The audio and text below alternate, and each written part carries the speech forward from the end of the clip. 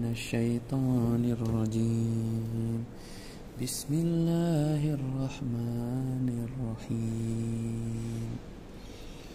الحمد لله الذي أنزل على عبده الكتاب ولم يجعل له عوجا. قيما لينذر بأسا شديدا من لدنه ويبشر المؤمنين الذين يعملون الصالحات أن لهم أجرا حسنا. ماكثين فيه أبدا.